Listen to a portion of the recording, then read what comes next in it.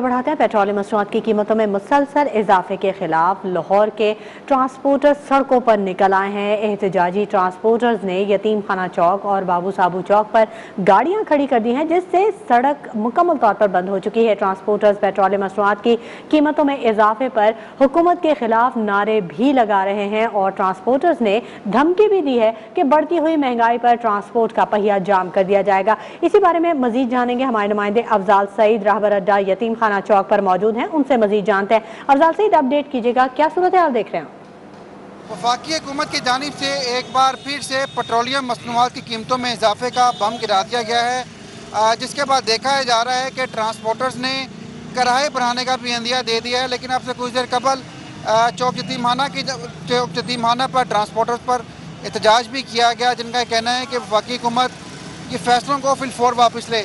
Mini मजदा association के जो मरकजी सदर हैं, हाजी शेख साहब, वो हमारे साथ इस वक्त मौजूद हैं, उनसे बात करेंगे। हाजी साहब, ये फरमाइएगा, महीने में दो दो मरतबा पेट्रोलियम मसनूआत की कीमतों में इजाफा हो रहा है। एहतजाज की भी आपने इसकी दे दी है।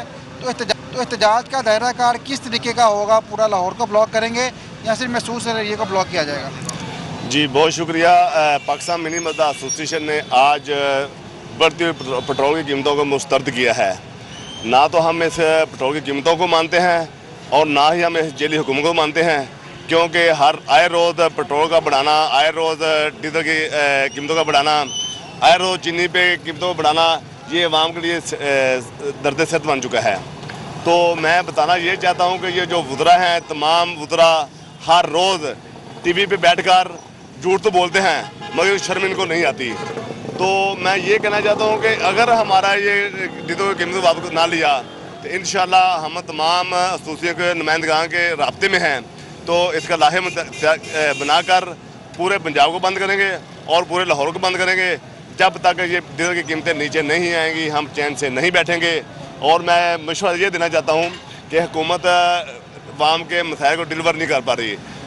चुप कर घर बैठ जाना चाहिए और वाम के जो बोझ बना हुआ है, इनको इस पर जो सरदर्दी बनी हुई है ये तो फ्री कर देना चाहिए। आपने यहाँ पर गुफ्तु सुनी।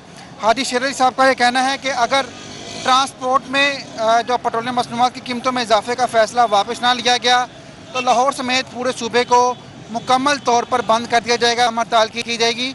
और मुसाफिर को खबार होने की ज़िम्मेदारी जो है वो तमाम तर हुकूमत वक्त पर आयद होगी। जी। ठीक है बहुत शुक्रिया अफजाल तफसीली अपडेट।